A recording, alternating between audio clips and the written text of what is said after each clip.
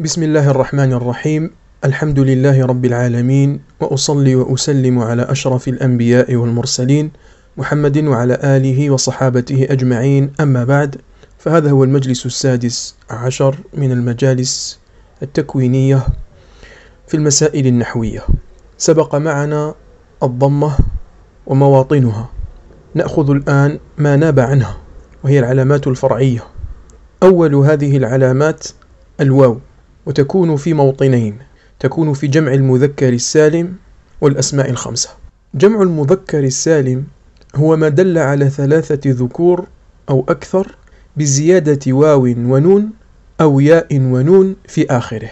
وسمي سالما لبقاء بنية مفرده عند الجمع كما هي. وهناك كلمات تلحق به ستأتينا في آخر المجلس. تتغير بنية مفردها عن جمعها تغيرا طفيفا. ككلمة ابن حيث تجمع ببنون وبنين. وهذا يسمى بالملحق بجمع المذكر السالم. فجمع المذكر السالم وملحقاته علامة رفعها الواو نيابة عن الضمة وأمثلة هذا كثيرة كقوله تعالى والمؤمنون والمؤمنات والمؤمنون. الواو هنا للاستئناف والمؤمنون مبتدأ مرفوع تقول وعلامة رفعه الواو نيابة عن الضمة لأنه جمع مذكر سالم. أيضا في قوله تعالى المال والبنون البنون معطوفة على المرفوع فهي مرفوع مثله وعلامة رفعه الواو نيابة عن الضمة لأنه ملحق بجمع المذكر السالم وسيأتينا فائدة اشترط النحاة في جمع المذكر السالم شروطا أهمها أن يكون علما لمذكر عاقل خاليا من تاء التأنيث والتركيب. يخرج بهذا ما ليس علما كقولك رجل وغلام وعليه لا تجمع فتقول رجلون ولا غلامون. ويخرج بهذا الشرط أيضا المؤنث وقد سبق ويخرج به أيضا ما ليس بعاقل. فلا تقل في الفرس اللاحق لاحقون. ويخرج المذكر المختوم بتاء مثل طلحة وحمزة ومعاوية. فلا تقل طلحون ولا حمزون. هذا كله لا يجوز. ويخرج أيضا بذلك الشرط المركب بكل أنواعه كقولك عبد الله أو سيبويه أو تأبط شرا أو حضر موت إلى آخره. الشرط الثاني أن يكون صفة لمذكر عاقل خالية من التاء وصالحة لدخول تاء التأنيث عليها. تقول مثلا عمر جاهز. تقول مثلا رجل جاهز. تجمعها فتقول رجال جاهزون. وتقول عاقل عاقلون. فجاهز قبلت التاء جاهزة. وكذلك عاقل وقس على هذا.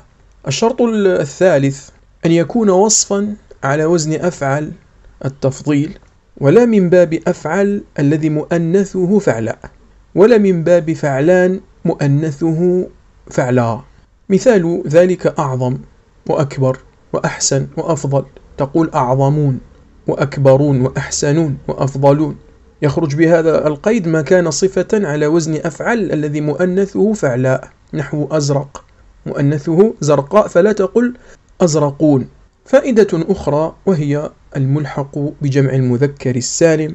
قيل الملحقات بجمع المذكر السالم ثمانية وجاء في هذا خلف يسير بين النحاة وهي العقود العددية من عشرين إلى تسعين وكذلك عالمون وكذلك سنون وكذلك أرضون وعليون وأهلون وأولو وبنون.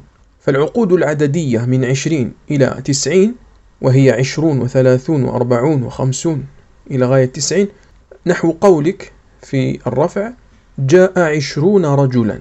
فعشرون فاعل مرفوع بالواو نيابة عن الضمة لأنه ملحق بجمع المذكر السالم. ونون الجمع لا محل لها هنا من الإعراب. وفي الجر والنصب تقول عشرين. أيضا عالمون. تقول هؤلاء عالمون. عالمون خبر مرفوع.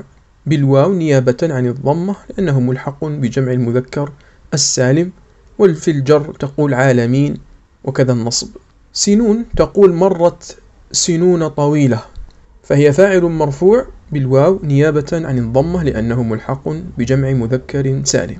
وفي النصب والجر سنين وكذا أرضون وكذا عليون ومنه قوله تعالى وما أدراك ما عليون وفي الجر يقول الله عز وجل كلا إن كتاب الأبرار لفي عليين. وكذا أهلون. ومنه قوله تعالى شغلتنا أموالنا وأهلونا. وتقول أهلين في النصب والجر. وأولو كقوله تعالى وما يذكر إلا أولو الألباب. وفي الجر والنصب تقول أولي. وبنون وقد سبقت في بداية المجلس. نقتصر على هذا القدر في هذا المقام والله أعلم. وصلى الله وسلم وبارك على نبينا محمد.